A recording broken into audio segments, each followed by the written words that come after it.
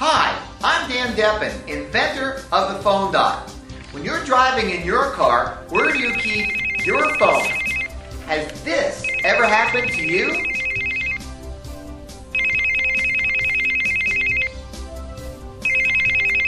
Now, I've got a solution. It's called the Phone Dot. Specifically engineered to hold your phone using state-of-the-art, built-in, patented magnetic technology.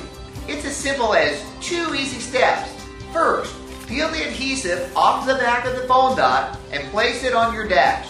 Second, peel the adhesive off the back of the metal adapter and place it on your phone. It's the perfect home for your phone. Now, drive hands free works great with Bluetooth technology. This is just one of the many reasons to get the phone dot.